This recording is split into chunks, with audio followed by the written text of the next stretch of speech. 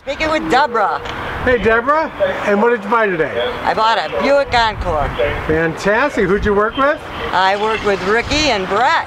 And did they treat you well? Very well, thank you. So would you recommend Brett, Ricky, and the Axelrod family to your family and friends? Sure would. All right, thank you so much. Enjoy your new Encore.